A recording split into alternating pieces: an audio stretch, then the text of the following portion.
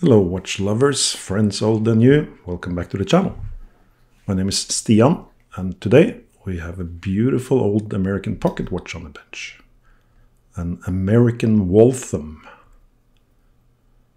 Now some of you might have seen another video I did on a Waltham watch, but that was a relatively new watch from their late period when they actually made the watches in Switzerland. This one, however, is uh, a real Waltham, if you will. It really represents what Waltham was uh, famous for. Beautifully decorated pocket watches. Both uh, inside and outside, we will see that uh, this watch is a true feast for the eyes, I think. It was sold as not running, and you can see it doesn't really run. The handset, uh, however, works. And we see this case, it's gold filled, it's beautiful in really good condition. And the kicker is that I actually bought this on eBay for $75. Yeah, I'm kind of lost for words. This is a watch that's worth much, much more in my view. It was, of course, sold as not running, and it doesn't run either. But just look at uh, the finish of the movement as well. This is uh, really beautiful stuff. we can see that uh, the balance doesn't really want to move much. And there's uh, a good reason for that, or many reasons, if you will. I'm going to look uh, very closely, pun intended, at that uh, shortly. Let's just first uh, get the movement out of the case. The movement is uh, simply held down with two screws. Can be a little bit tricky to get the movement out of the case, however. We do need to take uh, the bezel off uh, first. And then we also need to pull the crown out to the time setting so uh, that uh, the stem, which is actually in the case, gets as far out as possible from the movement. So here we can see on the left side that the stem is part of the case. And that's uh, actually part of the legacy also of uh, Waltham. The company was founded by Aaron Dennison in uh, the mid 1850s. And even though Dennison didn't actually stay very long with the company, he still had a massive impact on both the company and on the watchmaking industry as a whole, globally.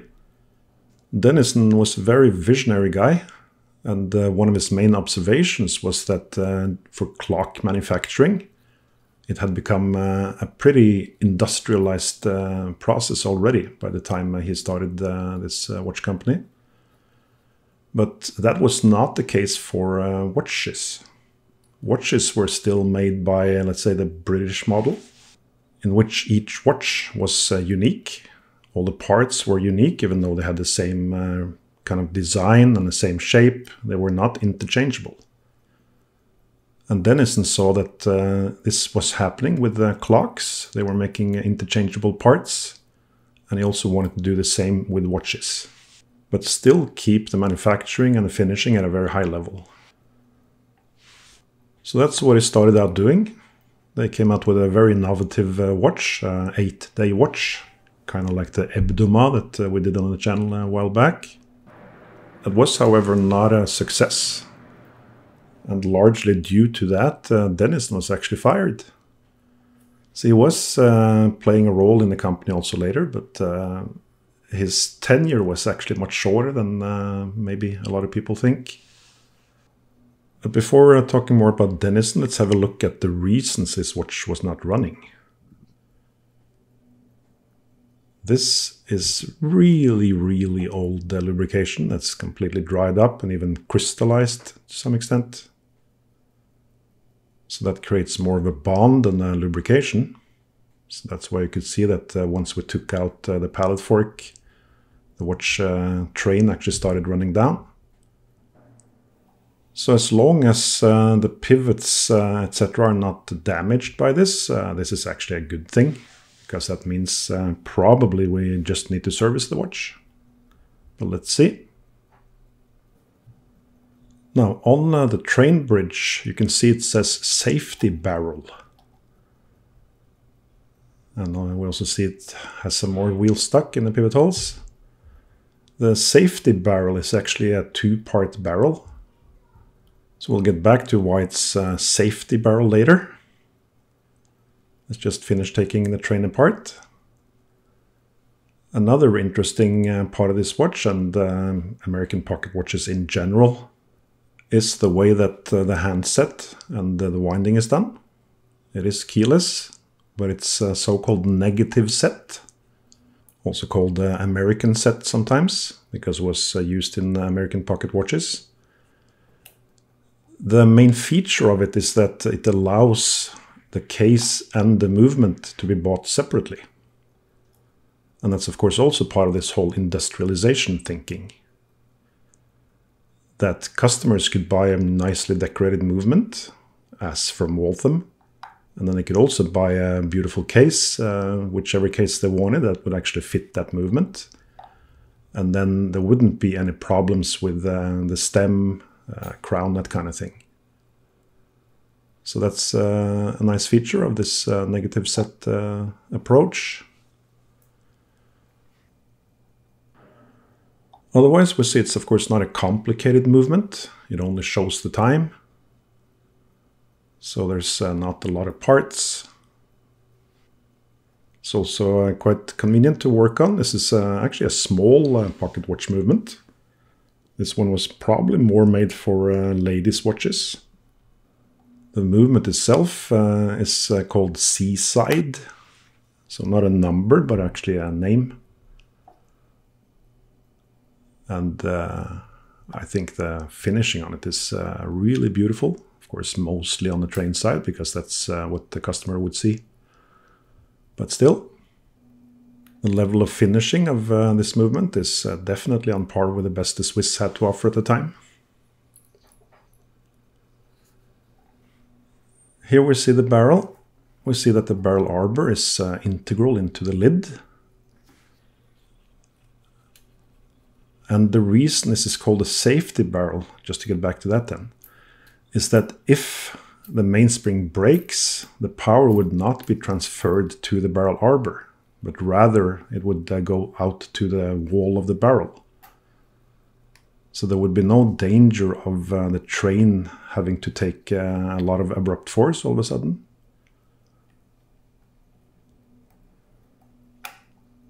We also see that this is certainly not a new mainspring.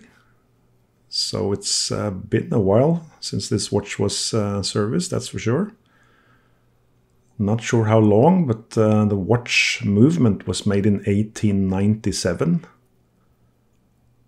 That's quite incredible looking at uh, the condition of it. It's really nice condition visually and also looks good uh, technically. So let's clean it and see what happens.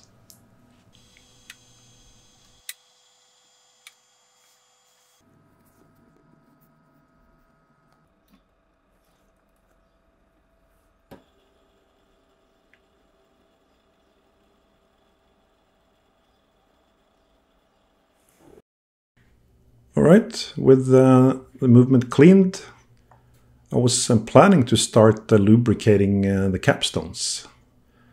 But uh, quite interesting. There's a bit of a strange thing with them. So remember that uh, these watches were made largely industrially. And back in the day, these rubies were rubbed in so that uh, there was a little bit of uh, brass basically covering uh, the rubies and uh, keeping them in place. But we can see that this brass is just covering way too much. And this is a problem because if we put a drop of oil in the middle here, the so-called uh, capillary action of the oil will make it uh, flow out to the sharp edges. So what we're going to do is we're going to remove this excess brass with an old oiler. And of course we're going to clean it again. But at least we'll be able to uh, put a nice drop of oil in the middle here and uh, that should help on the, the pivots. So this was a problem with uh, both the cap uh, jewels. So we see the other one as well. Not sure why they have uh, different colors, but uh, this one was on the dial side, so maybe it's slightly cheaper. I'm not sure, so they could kind of hide it and let the beautiful red one uh, be shown.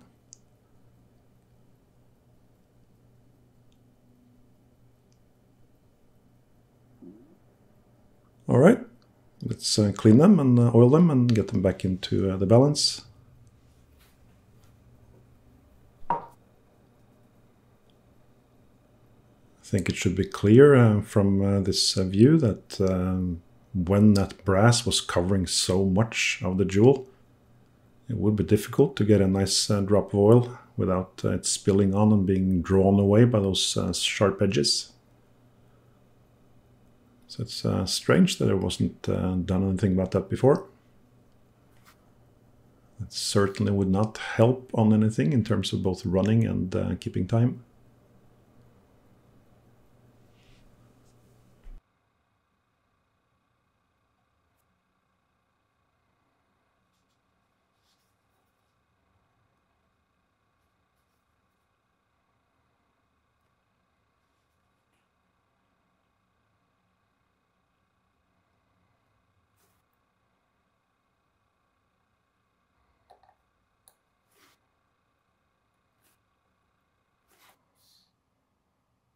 All right, time to see if uh, the balance oscillates freely.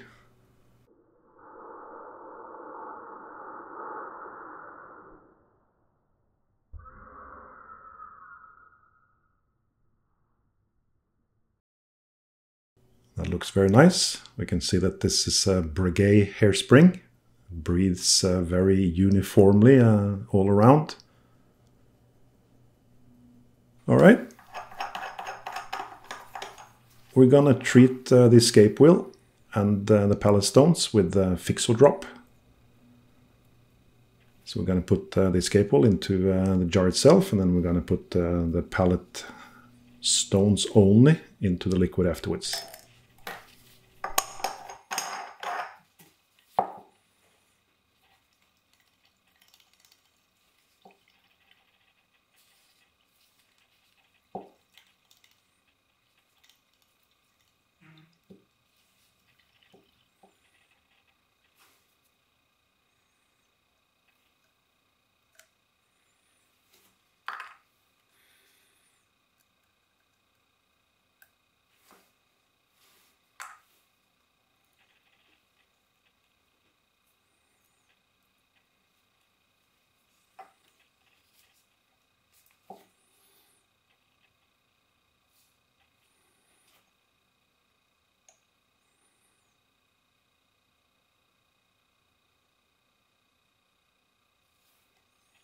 And before we're putting these parts into the movement, we're going to clean the pivots a little bit in case there's a Fixodrop there, so we don't get any debris into the movement.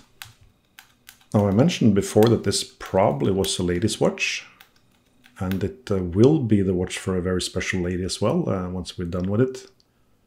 So I'm actually going to reuse that old uh, spring. It's going to be interesting to see what kind of amplitude it will uh, give us.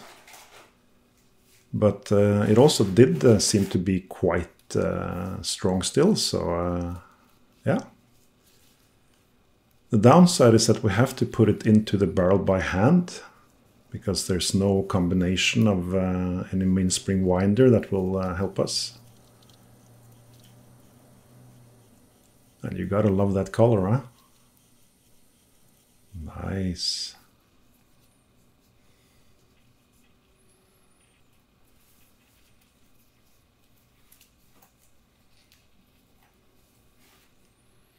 All right, to assemble the barrel, we simply press the lid uh, with the barrel arbor into the barrel drum.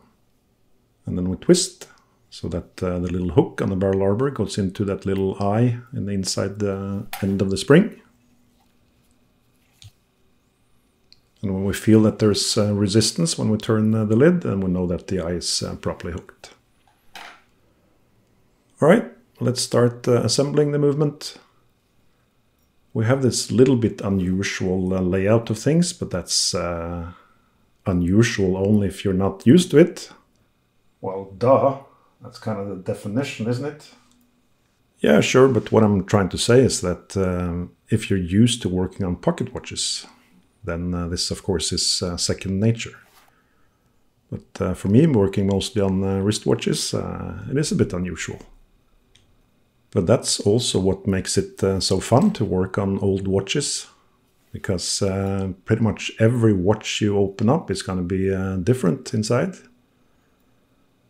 Not like nowadays, where 90% are just a handful of movement types or movement models.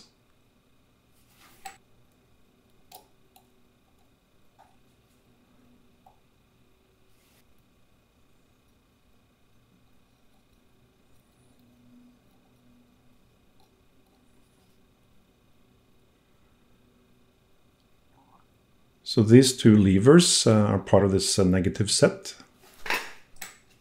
So what they do is they uh, still move the sliding pinion back and forth, but let's say the opposite way of what it would do in a typical keyless work setup. But the negative set was, as I mentioned, quite crucial for being able to choose your case and your movement. So uh, what it was a good solution for uh, that problem, it's not really relevant today, of course. But it is something you'll come across in pretty much all American pocket watches from that period, so good to know about. So as mentioned, uh, this movement is from 1897. And uh, that was kind of the golden period for uh, Waltham. They actually did really well during the American Civil War supplying most of the Union soldiers with their uh, watches. And uh, they also kept going pretty strong until uh, after the First World War. Although they did change ownership and also name of the company very frequently. Pretty much uh, about as frequently as uh, people changed their underwear during COVID. Or was that just me? Anyway, we're getting the keyless works back together. It's a little bit uh, different as uh, talked about before. We need to make sure that the lever there is in the groove in uh, the sliding pinion. And then we should be uh, all set. Let's check that it works. Yeah. Looks all right. I'm going to lubricate uh, the friction points a little bit. And then we can uh, start with the train.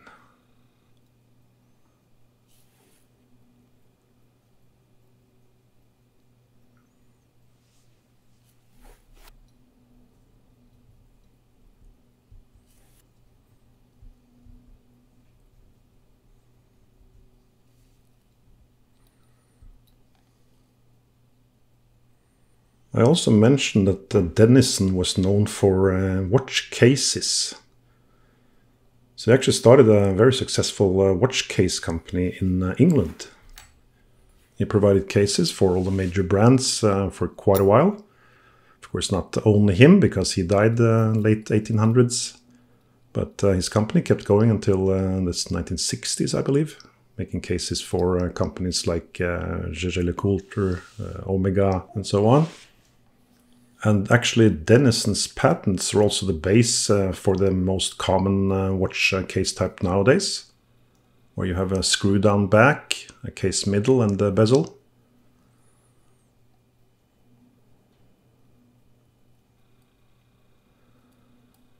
There are also, um, let's say, rumors that uh, Denison was actually the one inventing the screw down crown although that's not really any credible sources for it, but is uh, mentioned as the inventor quite a few places. So Dennison certainly put his mark on uh, watch uh, history, not only with Waltham, but also with uh, the case and potentially the screw-down crown. We managed to get uh, pretty much the whole movement back together. So let's lubricate the escapement a little bit.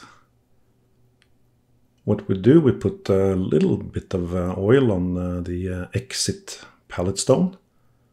And then we'll let that oil rub onto the escape wheel teeth.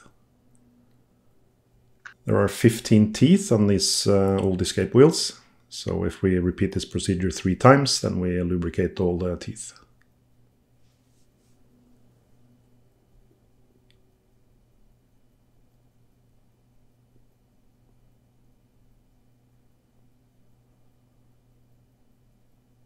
Here I'm using oil, but you could also use grease. The important thing is that we don't put too much oil on. It should just be a little tiny bit. If we see slowly, there should be just a little film, just filling the void between uh, the pallet stone and the escape wheel uh, surface. It's very difficult to see, but uh, that looks alright, I think. So with that, we can uh, turn the watch around and put on uh, the motion works.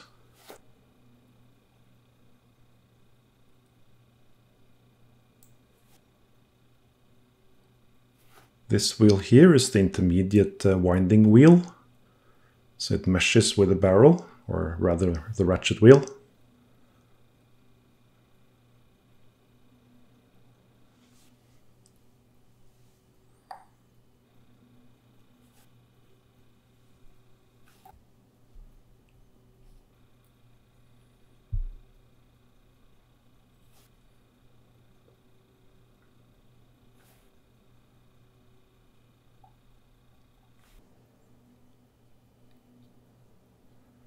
Off camera I wound the mechanism a little bit.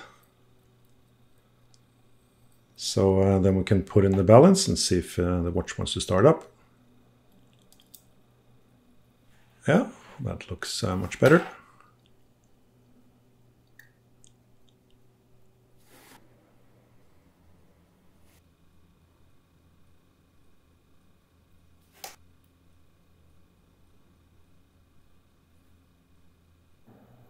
One thing we haven't uh, discussed so far is the dial. Now you uh, hopefully saw that the dial was actually in very good shape, we just need to clean it. And here's like the ultimate proof that uh, working on uh, watches is like an old man's thing. I bet you some time in the past, some old watchmaker was like uh, going to bed for the evening and taking his teeth out and thinking about how he could clean his uh, dial and it was like yeah, I wonder how I can clean this tile. If there only was a way. Hang on. Yeah, that's right. We're going to use a denture cleanser tablet. Works uh, great for uh, old enamel dials. Do not ever think of trying this on a normal uh, modern dial. It's going to completely ruin it. But for old enamel dials, it works very nicely. If you're doing this, just remember do not use a steel or iron uh, wire. That's to leave rust. And for an enamel dial like this, we also don't have to uh, worry about uh, the printed letters and numerals coming off. At least not most of the time. Always have to be careful what we do, but for this one it's fine.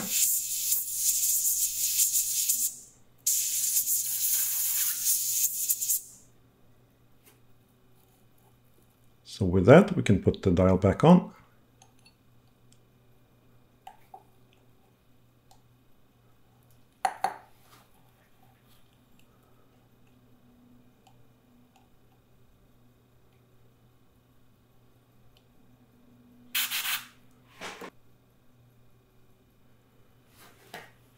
The watch also has this really lovely uh, blued hands.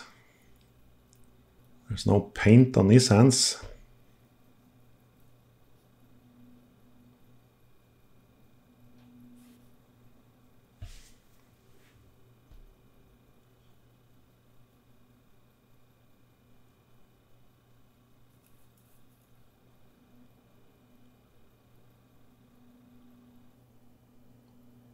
For every hand, we uh, also uh, rotate one full turn around the dial to make sure that the hands are uh, parallel to the dial, that they do not touch on anything or each other.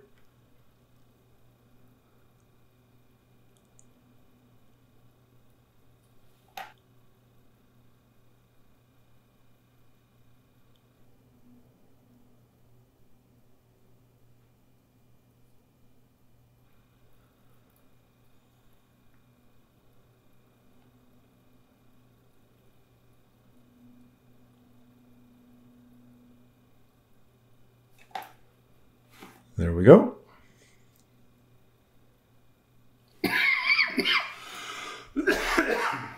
Uh, careful, buddy. Don't leave any blood on the dial there. Before we put the movement back in the case, let's uh, clean the case a little bit.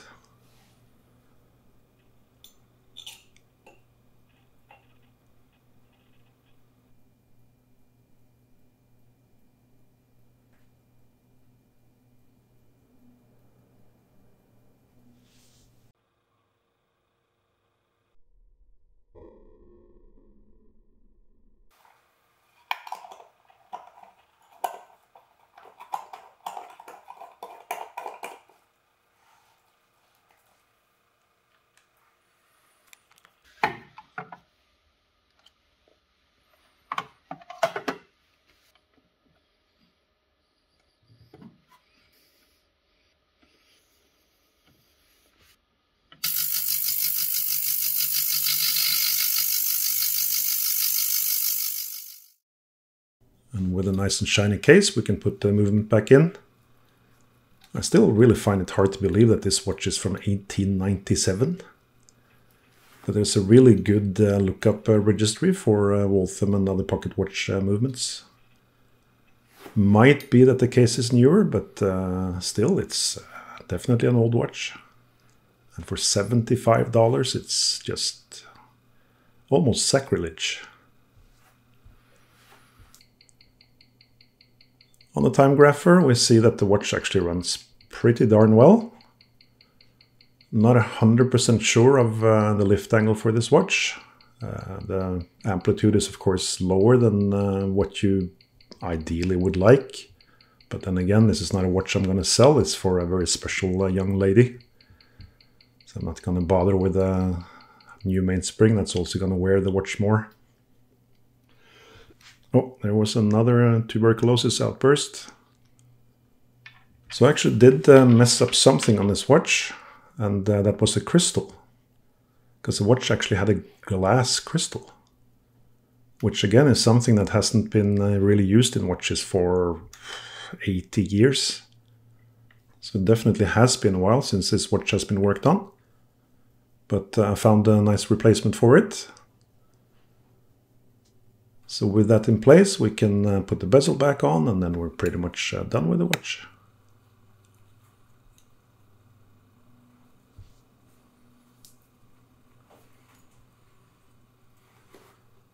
Look at that beauty, man. That is really something. This is what uh, Waltham uh, is known for still. They're pocket watches from uh, especially around uh, the turn of the last century. Beautiful uh, designs, very nice finish on uh, the movement and frequently also the case.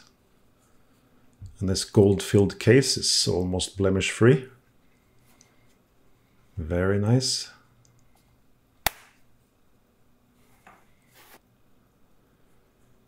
Dials of these old uh, Waltham watches will uh, pretty much always say Waltham, but it might say American Waltham, sometimes American Watch Company. I don't think they will say Boston Watch Company. That that might be. Uh, if someone knows, then tell me in the comments. But that uh, leaves the watch ready. So what we're going to do now is uh, introduce the watch to its uh, next owner.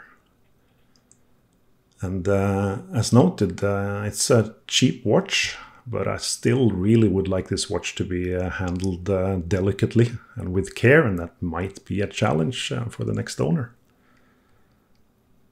Let's see.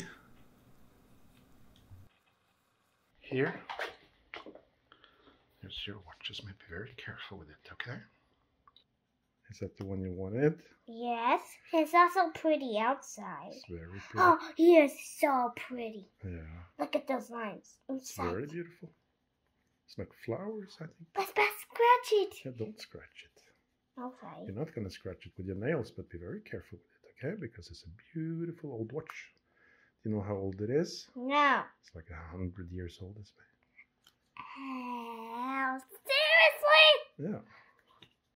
Now, before feasting our eyes a little bit more on this beauty, I just want to remind everyone that at uh, www.vintagewatchservices.eu you will find uh, over 100 watches at any time. Beautiful vintage watches with warranty.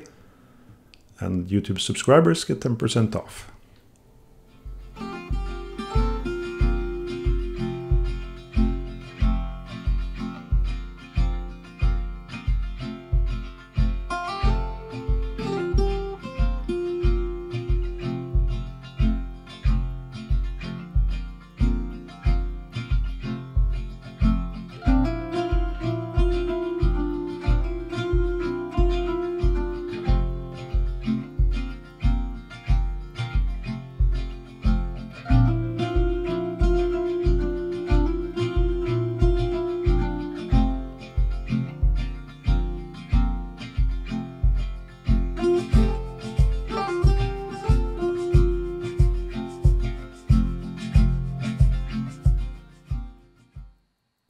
Hope you liked this video. If you did, then uh, clicking like and subscribe will really help the channel. We'll be back with another video shortly. Until then, ta-ta.